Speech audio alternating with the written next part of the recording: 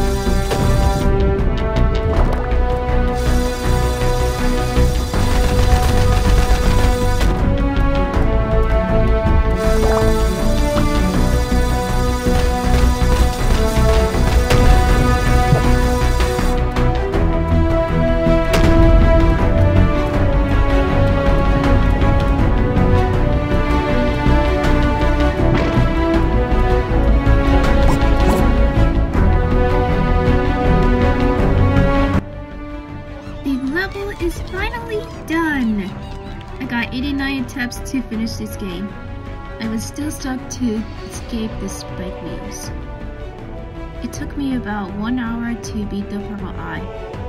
I was completely tired of playing the final checkpoint.